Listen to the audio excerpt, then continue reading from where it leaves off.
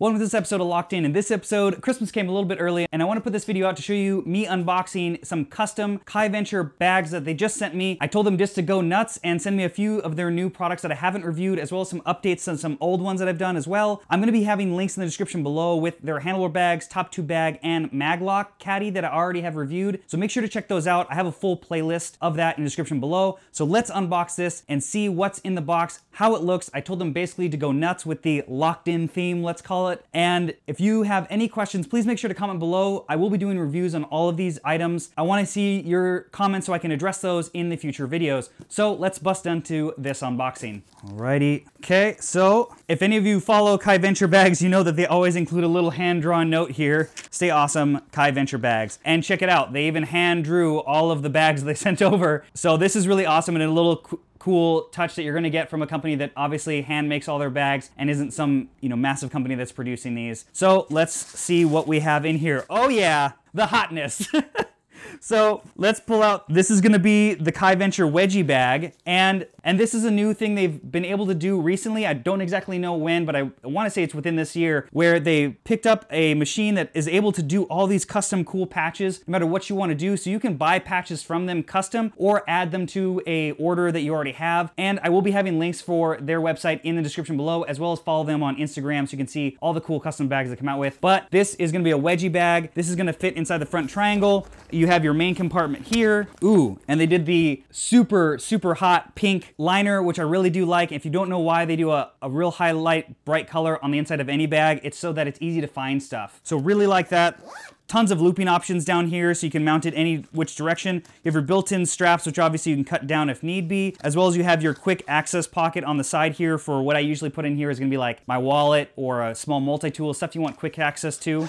Awesome. Okay, let's go into, oh, this is a nice top tube bag. So this is gonna be a lot bigger than the one that I have in the review below. And this is gonna add a lot more functionality. I wanted the original one to be a little bit sleeker, but honestly, I, I kind of regret it because I wanted something with more capacity that can carry my phone easily as well as some other items. So, ooh, yeah, check this out. You got the slow but look pro patch on the one side and then the locked in patch on the other. This is really, really awesome. I like that they added the loops here so I can add a shock cord onto this because I do have the bike I'm probably gonna be running this on is slammed. So running the Velcro around underneath a slam stem is kind of difficult sometimes. So having this as an option is great. The hot pink theme fits inside here. And this is really cool. They added an additional flap so you can basically separate the storage so I can have it fully open if I wanted or closed to separate some items. And they even have a little pocket in here, which I really like to separate for maybe some mini cables or some Nuun tablets or things like that. Really, really cool. Digging that a ton. All right, so a new minimalist handlebar bag.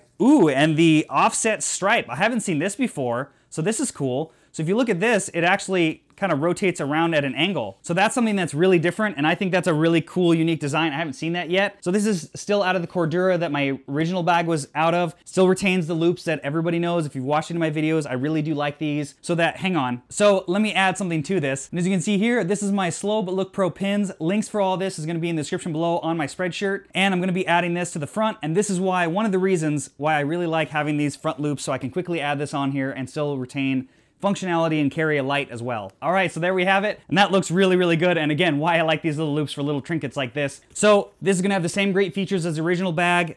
Let's see here. Still retaining the hot pink on the inside. And they updated, ooh, even a purple lanyard strap for your keys. This is cool. So definitely a nice upgrade for the new year. Then we have the Snack Caddy. This is new to me and I've been really excited to try this out. I really do like this bungee cord system on the top here. And I really do like their bags because it has a lot more functionality with the pockets on the sides. They are a lot more usable than some of the other caddies you're gonna get which don't have any or have very small ones or only one on the front. This gives you a more storage capacity on this. Again, you're gonna have loops all around here to keep things intact or slide things through here to make it easy to keep them in the pockets as well. And again, you can see another locked in custom patch on there. You got your drawstring top to keep things contained if need be, and another hot pink liner, as well as, oh nice, and it even has a drain port. So if you do spill anything in here, water's gonna leak all the way through. That's pretty nice. And you have your multiple mounting style sections here, as well as on the side, so you can easily mount it to a stem or whatever else you see fit. So this is definitely something I'm gonna be using. You've probably seen around on some other channels. I really have been digging it and waiting to pick one up. So I'm super hyped on this. I'm really excited to try all these bags out and